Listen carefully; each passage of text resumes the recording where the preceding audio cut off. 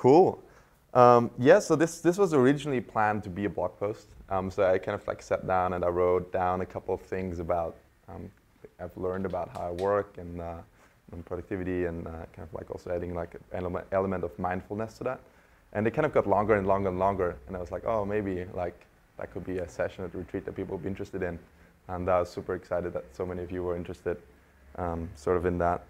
I, I want to start with a story about um, heroin addicts in, uh, in Vietnam. Uh, some of you might have heard that story before, and uh, it's really, really fascinating. And uh, so during the, the Vietnam War, uh, in the, um, the, the, troops of the US that were, were fighting in Vietnam, 20% of those people were heroin addicts. And uh, that was actually really fascinating for me to know. I've never actually heard that before.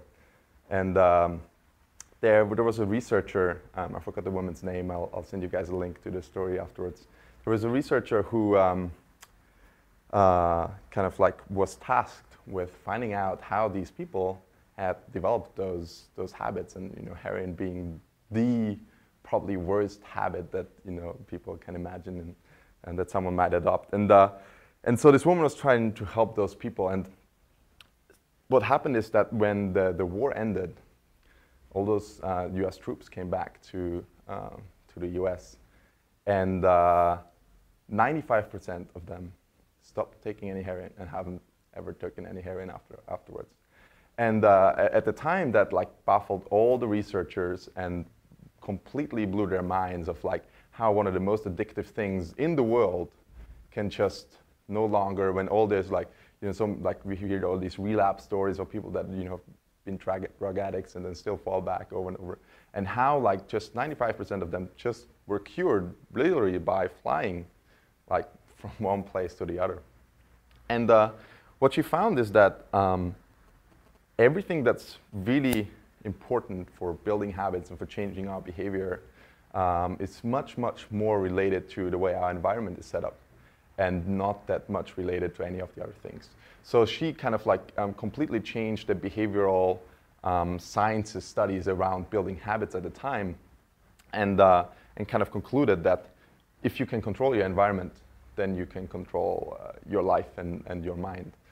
And um, I found this really, really fascinating to say, like, you know, put someone into a different environment, put them from the atrocities of the Vietnam War back to their families at home in the US, and all of a sudden, there's absolutely no problem at all that these guys will ever um, be heroin addicts again. And uh, so we kind of did a lot of more studies and kind of like shaped the idea of how habits are formed.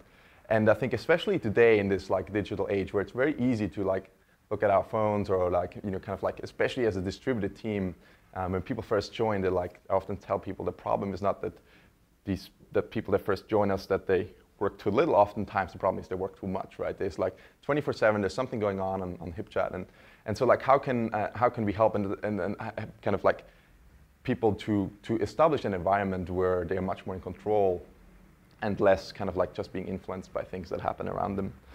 Um, so I just wanted to share some of those ideas based on that story, how kind of like um, we often think that, um, uh, so our ability to predict what we can do in the future um, is actually, we're very, very poor at that. Like we're very poor at predicting what we can possibly, how productive we can be tomorrow, or how productive, um, and, uh, and what we are much better at is by working with the constraints of a certain environment that's given to us.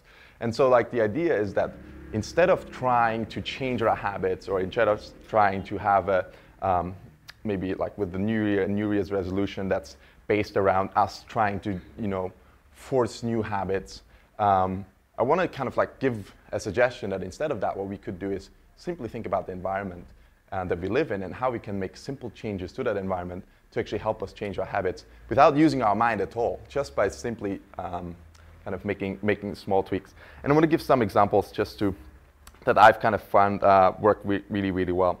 So for a long time, uh, I felt that um, I didn't have great posture. And uh, so I felt that I was slouching and I, I wasn't like kind of doing very well. And uh, I read a lot of these articles and like, you need to sit like this and you need to do this to like get better posture. And, and I always caught myself and it's like, oh yeah, I'm gonna do that. I'm gonna improve my posture. I'm gonna sit better in my chair. And uh, every time I did that, after like just a few days or so, I'd be like, oh, I'm like, oh, it's just like, why is that happening? Why can't I just control my mind better? And then I, I saw that, uh, I think uh, it's a video that Rudolf shared, um, where he talked about actually that, you know, you need to sit in certain ways um, that kind of like improve your posture. And that's when I discovered that if I put just simply something higher, put my laptop higher, all of a sudden I don't worry about posture at all. I don't think about posture. It's just by the way I've affected my environment that all of a sudden my posture is improved and I feel much better the way I sit and uh, kind of like the way I, uh, I work. Um, so that was one example that really kind of like tipped me off in the last few months where I said like, wow, this is so powerful. I can just you know, do that um, and not use any of my willpower or any of my kind of my mind power to do that. And that was really, really awesome. Um, another thing I did is that in the mornings, um, I would often check my phone. I would feel like the first thing I do in the morning is check my phone and see Twitter and Facebook and email, and some of you might do that as well. And uh, for a long time, I tried to use like I often think of myself like I have a strong will, like I'm not gonna check it in the morning. And uh, I, I, managed to do that for a few days, and then like the temptation is just too big, and I'll do it again. So what I experimented with, like again, based on the story of the um, heroin addicts in, in Vietnam, I thought like, why? Maybe there's a way I can I change my environment. So what I started to do is to turn off my phone the night before. Something I hadn't done in like maybe 10 years, where I think turning off phones was simply no, no longer part of what you can do. And, uh, and the, the most interesting and actually embarrassing thing is that I would wake up in the morning and press the home button on my iPhone still, and it would be off. And I would be like, oh, okay, it's not on. And uh, I knew that it wasn't on. And I would still have the habit. I would be amazed by my, by my like habitual practice of just pressing that button. And uh, since then, I had a much, much better morning of like, instead of that, I would, you know, kind of like be able to, uh, you know, I do a short meditation session in the morning, and, and it kind of just helped me completely change uh, kind of like how I can experience mornings and feel much more in control of actually what I'm doing. Um, one, uh, another thing that I've, um, I've done before, and that's actually one of the things I've, I've, I've tried a long time ago when I was trying to build a gym habit. Now it's super, super ingrained. I don't have to think about it too much. But um, when people often, I feel like um, I wasn't kind of going to the gym regularly enough. And so what I started to do is, in order to go to the gym in the morning, I would put my gym clothes on my, uh, um, on my desk. And simply by waking up and seeing that gym clothes there, there was like another simple kind of change of environment that helped me um, to kind of do that. Uh, another thing that's actually uh, one thing I've read about and I've, I've experimented with, with simply moving things out of sight. Like if you want to try not to eat certain things or like live healthier, um, simply moving things into a cupboard instead of outside um, can really help. And uh, another amazing thing I found is simply moving furniture in your house can have amazing impacts of if you feel like you want to make a change um, and uh, you want to kind of like procrastinate less or simply moving a desk just almost just three feet to a different location can actually help you to then feel that, oh, this is different, this is different, my chair is in a different place. I don't feel this habitual kind of like, um, um, almost like a, like a magnet try and do the same kind of like things that I would do every day. Um, so all these examples that I've given you are, are, are really not the most important thing here. Those are just some of the things that I found, and they're very, very specific to my environment. You guys might all have a different environment. Uh, I could imagine Sunil not saying, well, I can't turn off my phone because if things go down, I have to know about that. so you guys might need to actually like come up with different ideas, but I really want to just like keep you with like, I don't want to teach you what to do, just like maybe how, uh, how to think in, in, in, the element of like how these, you know, uh, starting again from the study of the heroin addicts. Um, so, so this first part of what I wanted to share is this like control, control your environment and then you will control your life. Um, and the second part I want to talk about is um, about energy. Um, control, and, the, and, similarly, I believe that if you control your energy, uh, you can also control your life. Um, and so the second part, I want to just briefly speak about that. And there's another story uh, that you may have heard of, which is that um, recently Mark uh, Zuckerberg was interviewed and they asked him, why is he wearing this, this same t-shirt and hoodie every day? And, um, and Mark Zuckerberg said that the reason, the simple reason he does that is he has so many important decisions to make every day um, he doesn't want to think about what he should be wearing. And, uh, and then I, I, researched and I found that Steve Jobs, that was the main reason Steve Jobs was wearing the same thing every day as well.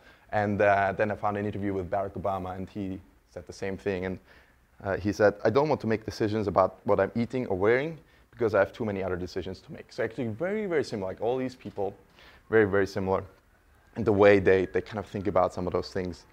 And it all ties in with, to me, when I realized, okay, why, why, why do they think about it in that way? So I realized, let, let's take a step back. Like, what is a decision even? Like, what is a decision?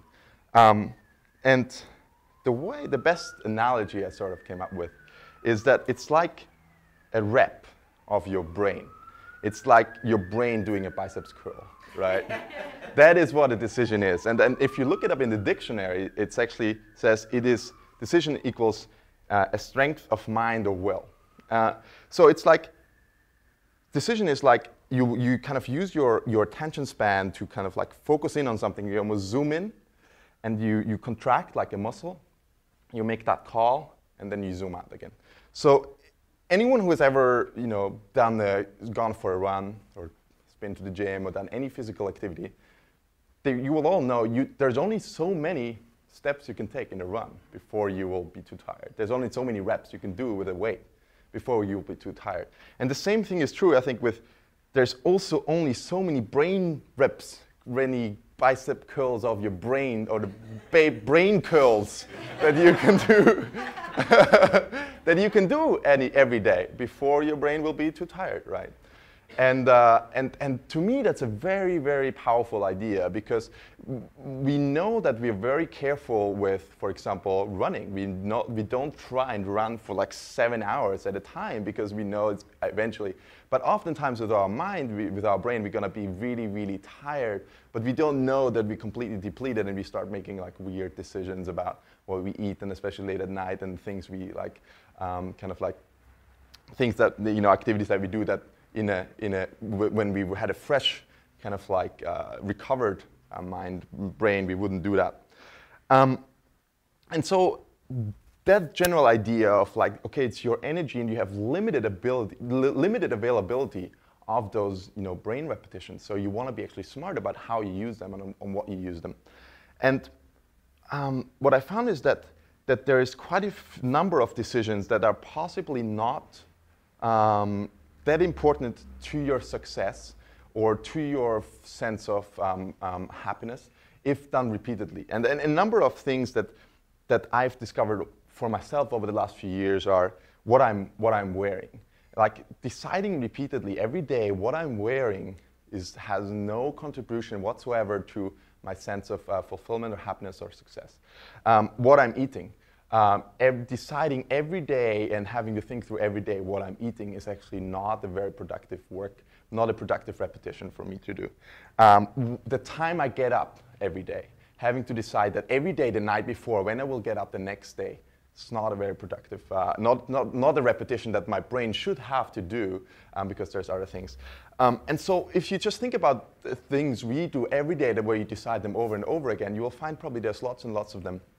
Um, that, that are not that, uh, that, that are not that um, kind of helping you to actually achieve the things that you want to achieve.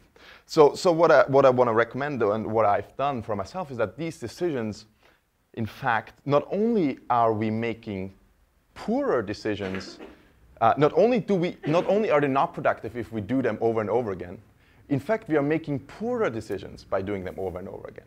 So, so one of the things that I found is that um, with, with food, and I try to um, eat the same thing almost every day for, for almost with some variety um, for, for lunch meals. Um, you can actually take a longer period of time. You can take a few hours to figure out what is a great dish for me, or what is a great number of dishes if you don't want to exactly eat the same thing, but you want to feel like, okay, I can eat these three different dishes um, in rotation and I won't get bored of it. Um, so what are things, and you can sit down, okay, what do I need nutrition wise, what, what are some of the ingredients, what are things that I like. So you can spend a long time on that, on coming up with you know, great ingredients, and then saying, okay, those are now going to be my dishes that I'm going to be eating for like the next few weeks where I'm gonna not make that decision again every day what it is. And uh, the same thing with your outfit, right? The same thing with your bedtime, right? It's great to actually think hard about your bedtime, but not every day, right? So you want to sit down and say, like, okay, what is a great bedtime? What is a great ritual? How much sleep do I want to get, right? And then, okay, now I'm going to put this in place. I'm going to try this for a few weeks. And uh, same with my wake, wake up time, right? When do I want to wake up? Um, so kind of like using kind of that technique to say, what are decisions that um, are kind of like, you know, things that my brain doesn't shouldn't contract and zoom in every time to make that decision, but it's actually something that doesn't help me go any go any closer to where I want to go. And anyone every one of you kind of has their dreams and their vision, and, kind of like actually there's probably lo- lots of room of things that you could cut out and and kind of like move a lot faster and actually be a lot happier. Um, uh, that I found like kind of helped me helped me a huge amount. Um, yeah, so, so those are the two ideas I just wanted to give uh, and, and, and, share with you guys that if you can control the environment, you will have a better, better uh, shot at controlling your life. And if you actually control your, uh, um, your energy and if you control your, your, your brain curls that you're doing every day, um, then you will also have a better shot at, at controlling uh, um, your life. Um, those are just the two main ideas I want to give. And, uh, and I think that every one of you has a unique situation. So um, again, I want to, even with the examples I've given, they might not be uh, as relevant to you, but there might be others that you know you can take away and say, what are some that, that I could try that might be helpful? And uh, I just want to end that um, that even those like those those rules are. I sometimes get a little bit dogmatic or, or preachy and like even for myself like everyone should, everyone should do this and uh, just, so those are definitely no hard rules and you should break them and you should redo your routine and you should question them and uh, um, and, and, and what I've also discovered for myself is that, you know, we, and especially with, uh, with us going teal, we're, we're no machines, right?